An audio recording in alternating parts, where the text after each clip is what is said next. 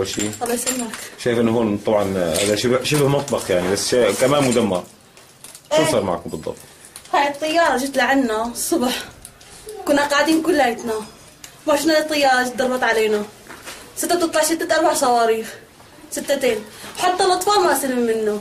ها الطفل شو سواله شو عمل له راح على بيتك قتلك يا ولا راح على بيتك قتلك تاخده ليش مستنى لو أنا عن جد هيك يوقع هالحجار عليك وهالردم هذا كليته عليك. ما حرام من الله. شو سواله راح شرب من دمك يعني؟ لحتى تنتقم من هالاطفال شو ذنب ذاك الطفل اللي راح تحت الحجار ولا